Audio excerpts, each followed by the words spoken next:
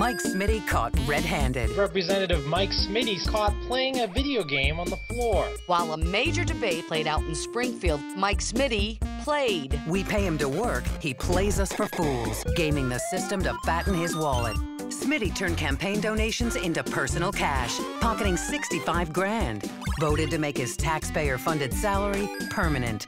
And Smiddy charged taxpayers for lavish expenses. Grift, greed. Game over for Mike Smiddy.